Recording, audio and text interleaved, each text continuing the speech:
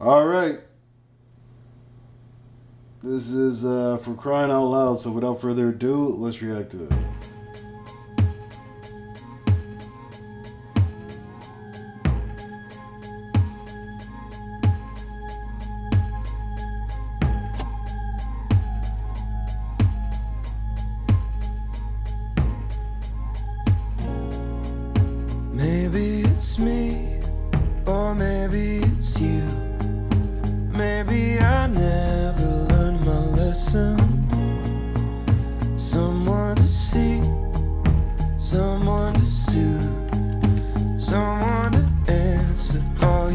question.